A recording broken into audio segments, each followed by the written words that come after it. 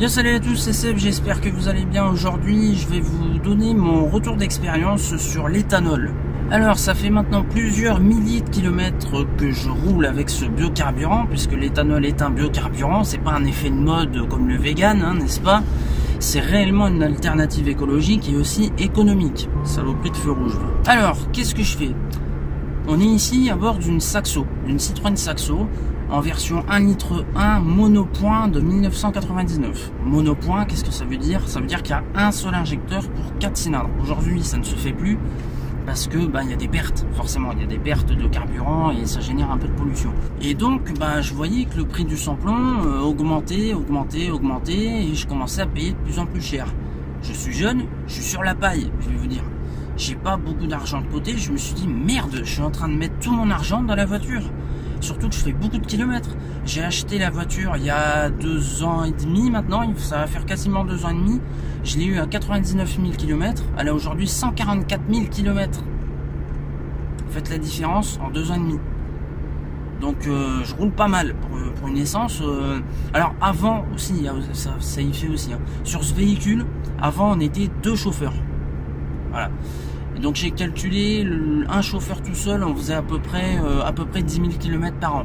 Un peu moins, un peu moins de 10 000 km par an. Donc bah c'est quand même pas mal pour une essence, hein. Euh, c'est pas négligeable, surtout avec le prix, le prix du, du. Et donc bah, je me suis dit tiens, on peut mettre de l'éthanol dans une voiture essence. Mais c'était pas bête comme histoire ça. Je commence à me documenter, je cherche, je vois que c'est possible en effet sur certains modèles euh, de mettre euh, de l'éthanol. Moi, ce que j'en ressors là de cette expérience, là actuellement, je tourne avec trois quarts d'éthanol et le dernier quart en sans Cela dit, en termes de quantité, je tourne avec 34 litres d'éthanol et le reste à peu près 10 litres en sans donc le mélange est assez, euh, assez costaud. Hein. Il y en a qui montent à 80%, moi je suis à 75%, c'est très bien comme ça. Full stock, pas de boîtier, pas de modification, même pas d'injecteur, de, quoi que ce soit, de rien du tout. Il n'y a rien, rien, rien. J'ai du jour au lendemain, je suis passé à l'éthanol. Retour d'expérience, rien à dire. Mais vraiment. Au début, légère surconsommation.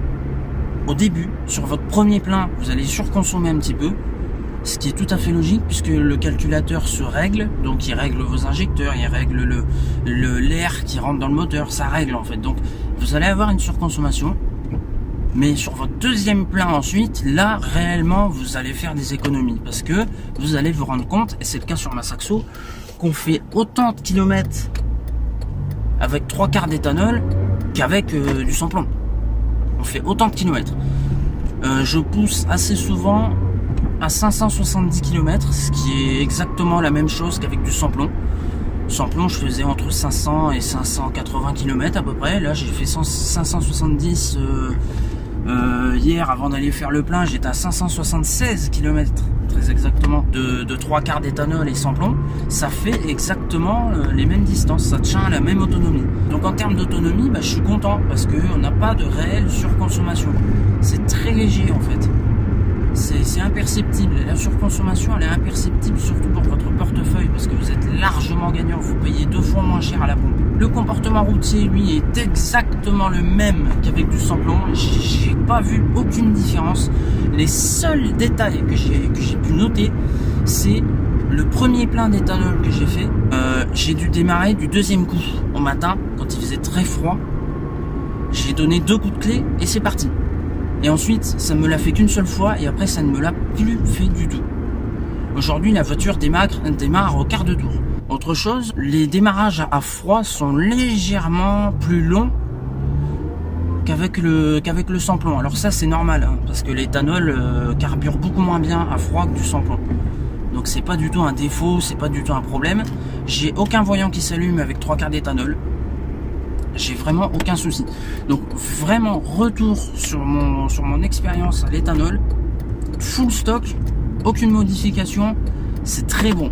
Avec trois quarts d'éthanol, vous faites de sacrées économies. Et c'est pas négligeable quoi. C'est pas négligeable, c'est vous payez deux fois moins cher à la pompe. Je fais des pleins complets à 30 euros au lieu de 50 quoi. Donc euh, essayez l'éthanol euh, si vous pouvez. Alors je vous déconseille d'essayer l'éthanol sur une voiture turbo. Si vous avez un turbo essence, ne tentez pas le diable, renseignez-vous bien. Ici, on est sur une voiture atmosphérique. Euh, donc forcément, sur une atmosphérique, ça marche bien. Sur une turbo, ne tentez pas le diable. Vérifiez bien si ça fonctionne. Vérifiez si vous pouvez le faire. Et puis, euh, normalement, ça devrait bien se passer. Voilà. Mais donc, euh, retour d'expérience, ben, grosse économie et aucun changement en termes de comportement, ni quoi que ce soit d'autre. rien du tout. Voilà, donc je fais pas plus long, c'était Seb, je vous souhaite de passer une très bonne semaine, un bon week-end. Et désormais les vidéos sortent le dimanche soir à 18h. Me demandez pas pourquoi, c'est comme ça, c'est la vie, c'est le commerce. Ciao ciao